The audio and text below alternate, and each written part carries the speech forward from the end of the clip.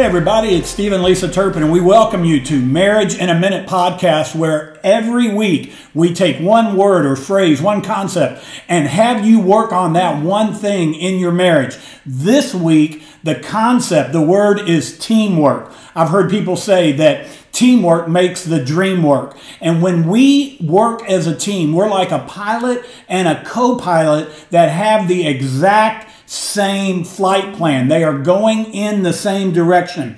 I've, it's been said too marriage is not a solo act. Husbands and wives have to work together to get to the destination that they want to get to in their marriage. Lisa, tell why teamwork matters. Here's why teamwork matters so much in a marriage. When husbands and wives are in conflict with each other, if they're not on the same team, they're going to be working against each other rather than trying to solve the problem that's in front of them. If Steve and I were not part of a team, we'd be roommates instead of housemates. In other words, two people who live together, but we're not actually working together.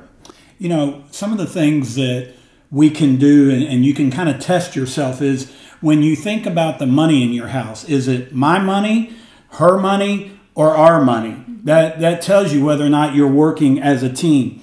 Do you feel like if you need to fully relax do you feel like you need to be away from your spouse? I hear a lot of couples say that they do. That shouldn't be. Uh, you shouldn't have to be by yourself. And do you keep a distance from your spouse's relatives and friends you see, when you are around family, that creates that sense of being a teammate. And I think that's important. So here's some questions you can ask and discuss with your spouse. What areas do we work well together as a team? And write them down, talk about them. And then the next question is maybe a little tougher is what areas could we improve on in working together as a team? What are some other tips, Lisa, that they can do?